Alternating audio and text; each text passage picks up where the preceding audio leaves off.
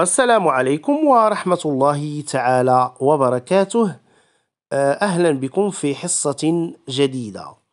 إذا في هذه الحصة سنشتغل على النص التطبيقي التنمية الاقتصادية وهو نص موجود آه، بالصفحة 145 آه، وكذلك الصفحة 146 من مرجع المرجع في اللغة العربية للسنة الثانية إعدادي.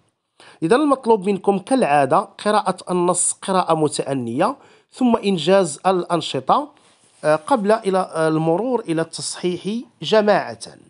إذا سنبدأ أولا بالفهم. لدينا اشرح الكلمات التالية. إذا لدينا طفيفة لدينا تؤشر ولدينا ورشات وكذلك التنمية. إذا طفيفة طفيفة فهي تعني آه، قليلة أو خفيفة. ثم تؤشر أي تعطي إشارة. آه، ورشات فالمقصود بها وحدات إنتاجية أو لا. آه، أمكنة لإنتاج سلع معينة أو ورشات عمل إلى غير ذلك. التنمية إذا التنمية تعني الزيادة التطور النمو التحسن إلى غير ذلك. السؤال الثاني لدينا ما ضد الكلمات التالية؟ إذا الاستيراد إذا الاستيراد ضدها التصدير. التنمية التنمية ضدها التخلف. حتي آه، حثيثا أي أو ضدها بطيئا. ثم ينقسم إذا ينقسم ضدها يتحد.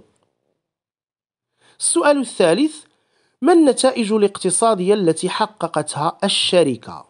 إذا آه، كجواب انطلاقا من النص حققت أو حققت الشركة ربحا في مجال الخدمات والاستيراد والتصدير والاستثمار رابعا آه، ما النتائج الإيجابية المسجلة آه، في هذا المضمار؟ إذا سنجيب النتائج الإيجابية المسجلة في هذا المضمار تنحصر في قطاع الخدمات وقطاع التصدير والاستيراد إضافة إلى قطاع الاستثمار وسجلت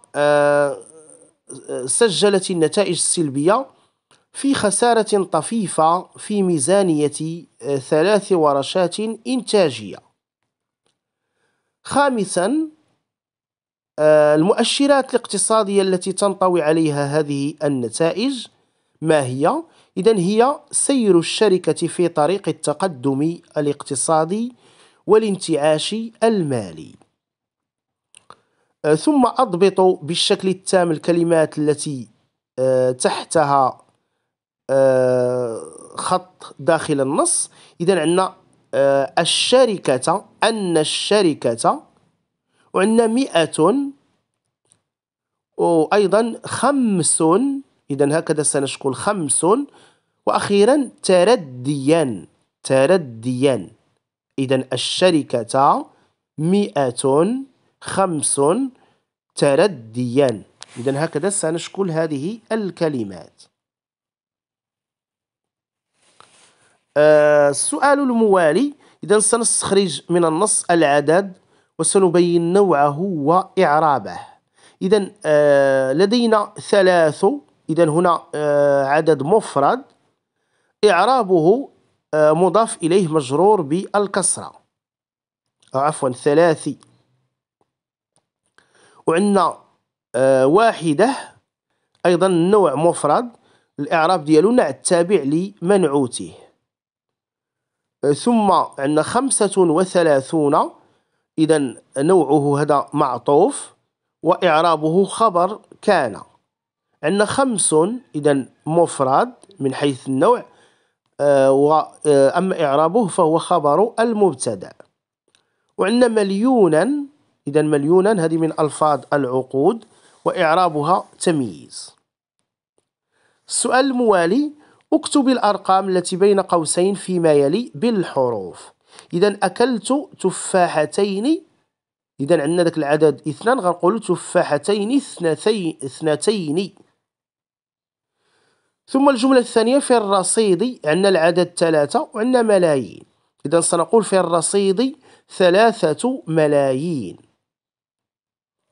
ثم يقدر ربح الشركة وعندنا العدد ثلاثة عشر. إذا سنقول بثلاثة عشر مليونا. الجملة الموالية تضم الخزانة اثنتي عشرة مجلة. آه، ثم بلغت الخسارة آه، مئة وثلاثين درهما. والجملة الأخيرة قرأت خمس قصص.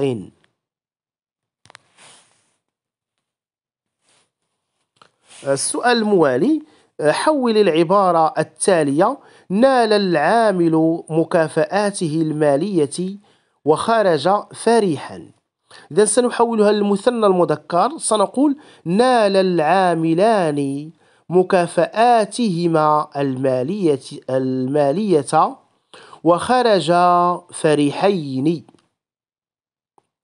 المثنى المؤنث سنقول نالت العاملا العاملتان مكافأتيهما المالية وخرجتا فرحتين.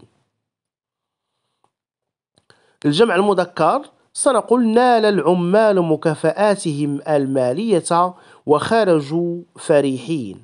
والجمع المؤنث نالت العاملات مكافآته مكافآتهن وخرجن فرحات. السؤال الأخير آه، أعرب آه، الجملة. حققت الشركة ربحا قدره 12 آه، مليون درهم. إذا حققت إذا هذا فعل ماض مبني على الفتح. وتأنيث الساكنة لا محل لها من الإعراب. الشركة فاعل مرفوع بالضمة الظاهرة على آخره. ربحا مفعول به منصوب بتنوين الفتح. قدره آه، مبتدأ مرفوع بالضمة الظاهرة على آخره وهو مضاف والهاء مضاف إليه.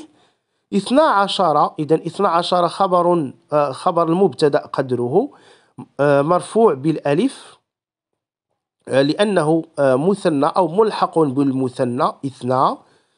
مليون إذا تمييز منصوب وهو مضاف درهم مضاف إليه مجرور. إذا هذا كل ما يتعلق بهذا النص التطبيقي. شكرا لكم على حسن المتابعة.